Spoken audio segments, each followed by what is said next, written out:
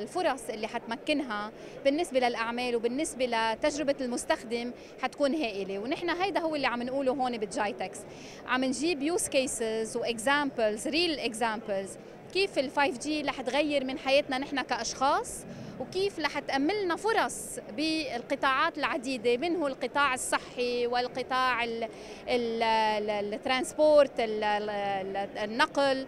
وإلى آخره من القطاعات. فنحن اللي عم نقوله إريكسون عم بتركز حاليا وابتدأت من سنة 2012 بال labs باستكشاف وعمل عمل ال research على ال 5 G وهلأ صار صارت حقيقة. وأطلقنا بال 2019 ال live networks ونحن متواجدين حول العالم بكل بحوالي بمعظم الشبكات اللي طلعت live أسألك سؤال حتى بالنسبة لقطاع الأعمال كيف من الممكن أن تؤثر هذه التقنيات على القطاع التشغيلي على الإيرادات التشغيلية زيادة الكفاءة التشغيلية وبالتالي زيادة الربح بطبيعة الحال؟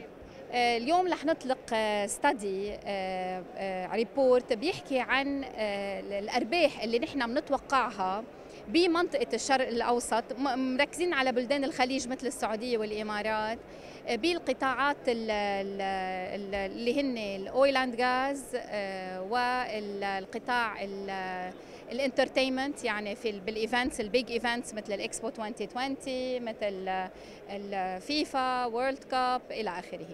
فنحن بكم تقدر تقريبا؟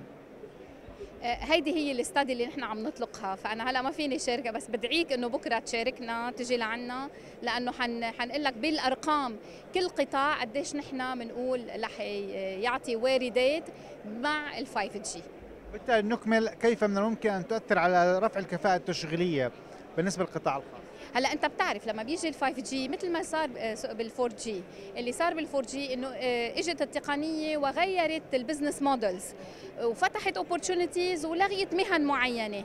ونفس الشيء رح يصير بال 5G رح نشوف إنه فرص متعددة رح تظهر ورح تتغير ال business model طريقة تشغيل الأعمال.